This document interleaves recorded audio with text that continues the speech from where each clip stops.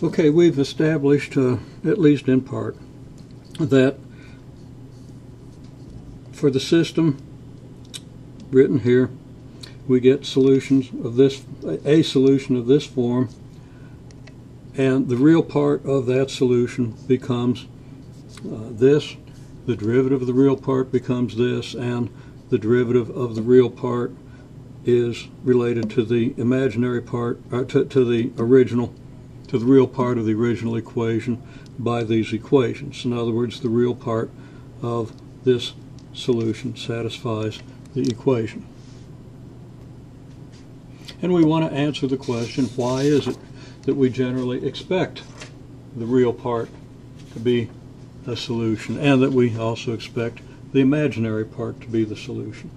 Now recall that our solution was expanded and separated into real and imaginary parts. So that any such solution will have a real part and an imaginary part. So, to answer the question, why should the real and imaginary parts both be solutions? Um, get this down here where I can write on it a little better. Uh, if y has a real part and an imaginary part, now that just says y equals script r plus i times script i. I know that uh, these symbols uh, might be unusual and maybe a little frightening because we no longer emphasize cursive writing, but it has its advantages.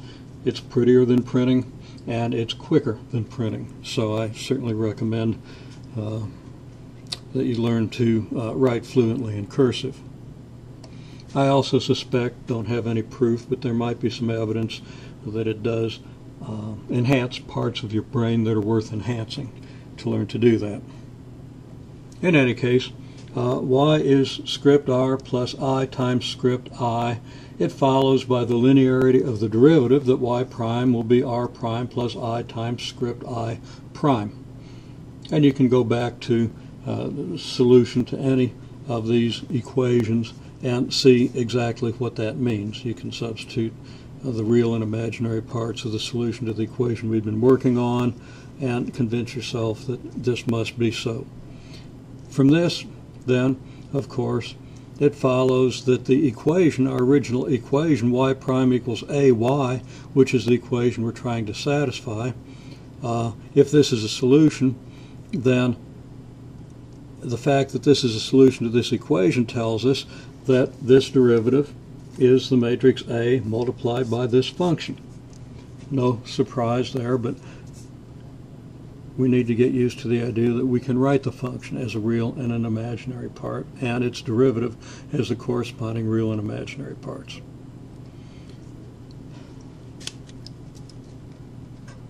Now, the linearity of matrix multiplication applies whether you're multiplying by real or complex numbers. So a times the real part. And then we have a times i times the imaginary part. i is just a constant, a complex constant or an imaginary constant. Still a constant. It factors out, and I'm not going to write that in two steps. I'm just going to say that's then i times a times the imaginary part. And that is, of course, equal to the real plus i times the imaginary part of the solution. But now, the real part of this complex expression has to equal the real part of this complex uh, expression. So,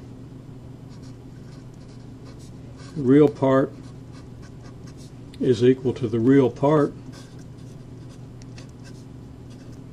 So the real part on this side is equal to, and that's those are both derivatives, the real part on this side is equal to a multiplied by the real part on this side.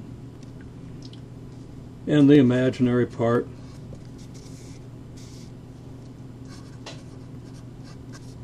equals the imaginary part So I prime equals A, I. Well, what does this say? This says that the real part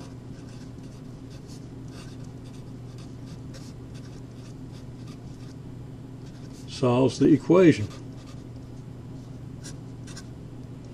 And this says that the imaginary part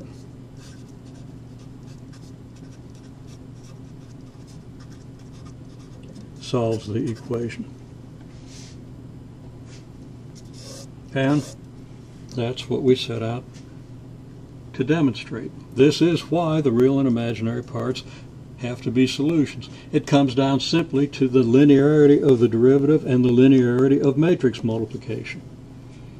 If you have those two linearity properties, you end up with this conclusion.